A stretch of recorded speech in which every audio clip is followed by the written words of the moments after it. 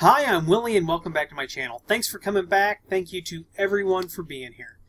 The first thing that I want to talk about before we get to this video is that the network theory where we're going to start from the, the ground and build up to uh, doing some routing and things like that uh, and well and more advanced concepts uh, that is going to start on July 26th. I just want to put that out there. So that is our start date for network theory. So if you don't have an edge router of some sort, use the affiliate links, uh, please, and go out to Amazon and get you one. Um, if you've got a USG, we'll try to, when we get to those exp explanations, kind of compare and contrast. I will be able to show that, but uh, we won't be able to do some of the configuration as easy on a USG as we would the edge router. So um, tonight, what I wanted to talk about, oh, by the way, I don't know if you saw this, but look. Huh?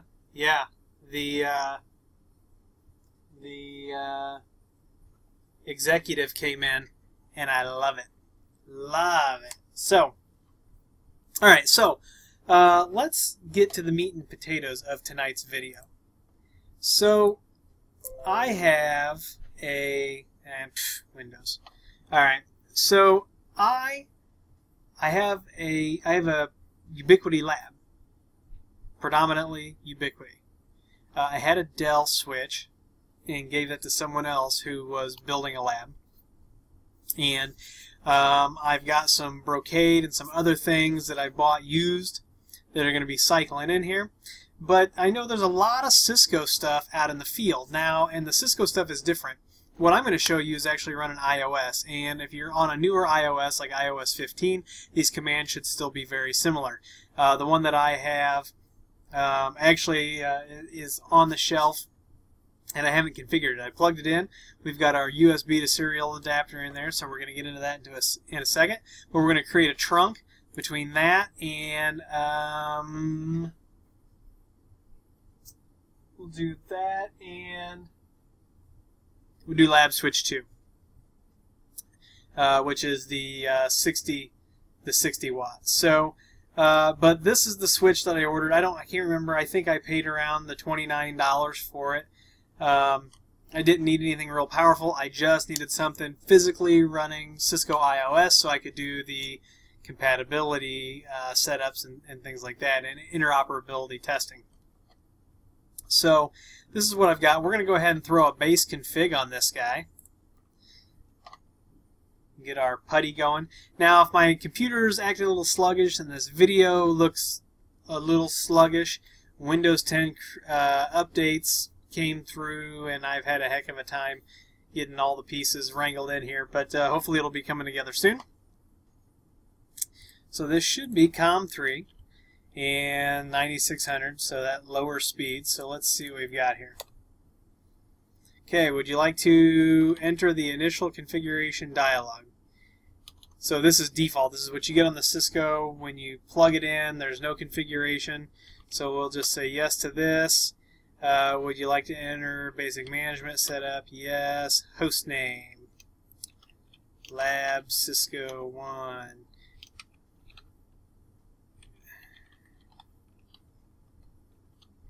and our enable secret. Catch me if you can, and we'll see if it'll let us use the same one. Uh, catch me if you can too. Uh, virtual terminal password. Uh, we'll just use let me in. No SNMP. Now you can see that uh, it's got a VLAN 1 interface. It's also got uh, 1 gigabit port here, and the rest of these look like they're fast Ethernet. So this gigabit port is going to be the um, SNMP. Uh, I mean the uh, the gigabit's going to be the SFP port that it's got. Uh, enter the enter the interface name used to connect to the management network. This will be VLAN 1 and we'll configure IP on this device and we'll give it uh, let's see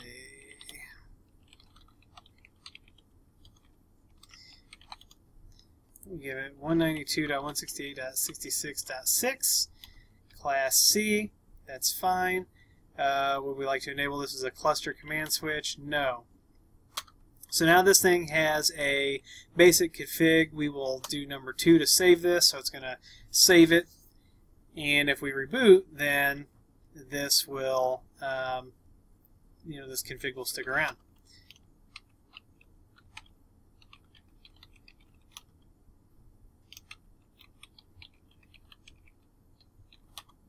Okay, so we went into enable mode. Enable mode is where we can get into configuration mode, uh, but we can also do a, a show run. And uh, this is IOS 12.2, which is what came on this. Uh, and this is just a this is really just a basic, um, a really basic configuration. But what we need to do is we need to make some changes to make it kind of match what we've got going on um, with UniFi. So I'm not going to get into Cisco configuration much past this in this video. I may do some other videos on that when the Meraki gear comes in August. But let's hop over to our uh, UniFi uh, controller.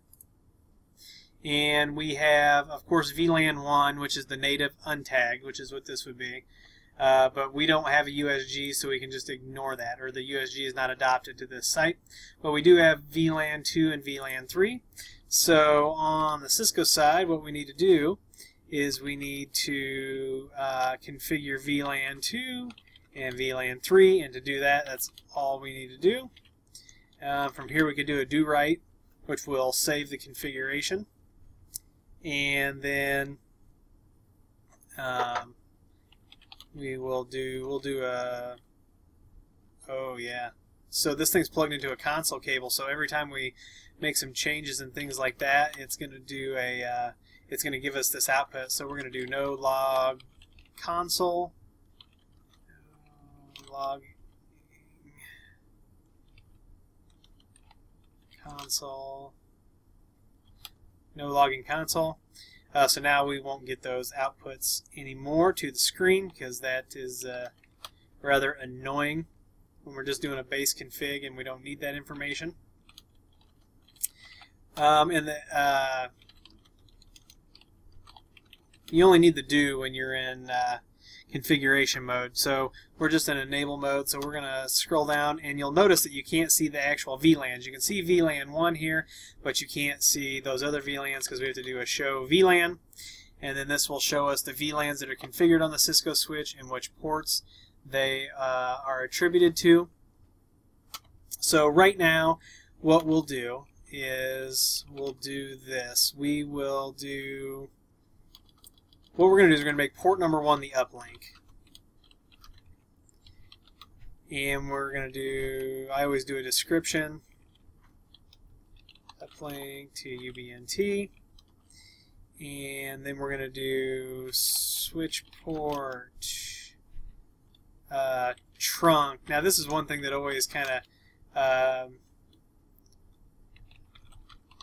kind of killed me. Um, I can do a uh, switch switch switch port mode trunk, uh, switch port, uh, trunk, allowed, VLAN all. We'll do allowed VLAN all. And I actually didn't get it on this switch, but sometimes on a Cisco switch, when we're configuring a trunk, um, it makes you set the encapsulation um, to 802.1 before you will uh, be able to set the, this into a, a trunk mode. So um, what else do we want to do? We want to do um, switch port, and then we want to do trunk, native, VLAN. Uh, we'll do native VLAN 1. That may be redundant there. Right.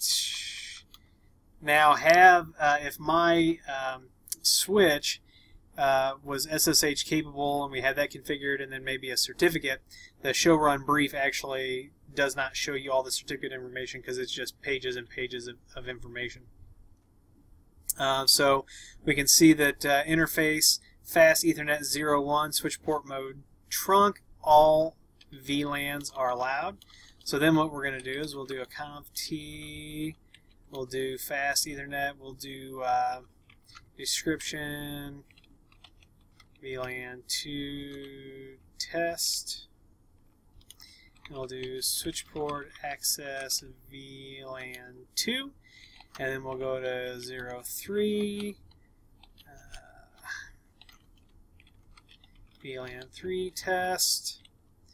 And then we'll do switch port access VLAN 3.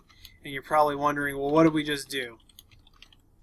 So what we did was we set the native or the default uh, VLAN on these. Uh, so the access port, when it's when it's plugged in, uh, whatever's plugged into this is going to be in VLAN 2. The device itself doesn't have to worry about tagging. The switch is going to handle all the heavy lifting. So at this point, it looks like we're ready to plug this guy into. Let's uh, look at our devices. Let's look at Lab Switch 2. Uh, we've got on uh, port 2, which doesn't have anything, we got networks, VLANs, all, and it is switching. So um, we can roll the dice here and plug this guy in. Let me do that real quick. Okay, so I physically connected Ethernet 1 on the Cisco to port 2 on our Ubiquiti switch. Do a show interface 01, so we see that fast Ethernet 01. Uh, so fast Ethernet, by the way, means um, that this is not gigabit. It is full duplex 100 megabits per second.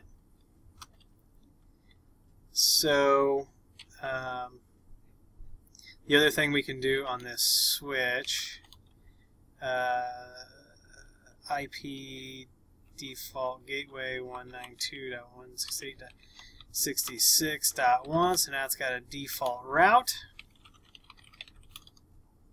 And write and copy run start do the same thing. It's just a force of habit. So uh, our UniFi switch now has uh, uh, an uplink. So let's see if this guy can ping the gateway. And there it is so this switch now has full connectivity. Um, and if I bring up a command prompt here, I should be able to ping.